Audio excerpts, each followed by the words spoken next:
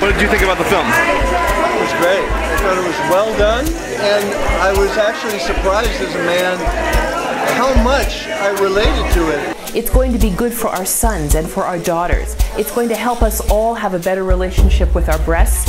It's good for breast cancer survivors. Really, I love this. It was it was very inspiring.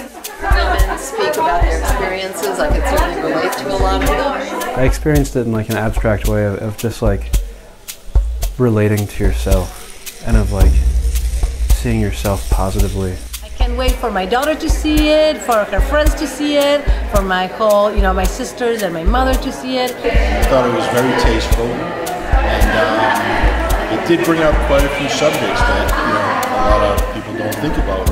I am so excited and so inspired and so excited for humanity to see this film.